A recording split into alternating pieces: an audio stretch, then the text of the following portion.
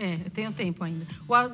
O, assunto agora é o Corinthians aqui no Super Esporte. Depois de vencer o Capivariano no último domingo, o Timão já estará em campo novamente, sim, sim, nesta terça-feira, mais conhecida como hoje, com uma equipe praticamente reserva. Os comandados do Tite enfrentam logo mais à noite a portuguesa em Itaquera. Se vencer, o Timão sim, sim, garante uma vaga para a próxima fase do Paulistão, quartas de final. Confira aí na reportagem do Alexandre Silvestre.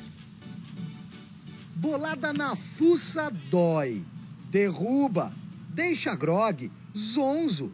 Wagner Love nocauteado que o diga. Mas dor de cotovelo pode ser ainda pior. Tem duplo sentido. Bruno Henrique sabe bem do que estamos falando luxou a articulação do braço contra o Ituano.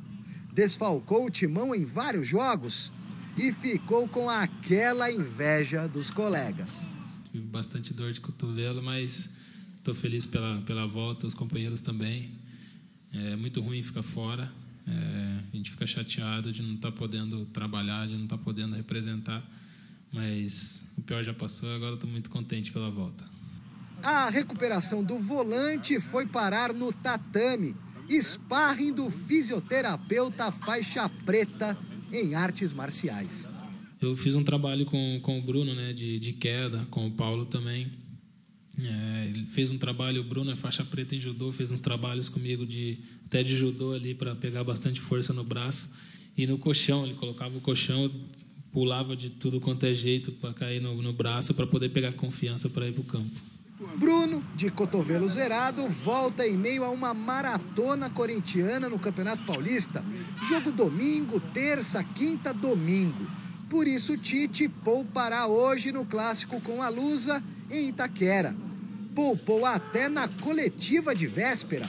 Oportunidade para o fiel escudeiro mostrar serviço.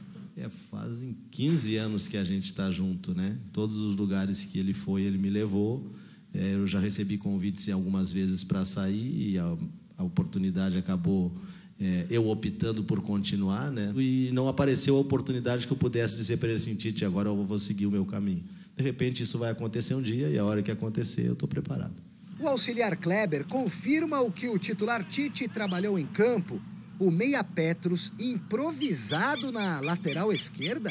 O Petros, uma improvisação. O Petros já jogou assim no, no Boa Esporte, fez uma série, acho que 35 jogos em 2011, 2010, não recordo.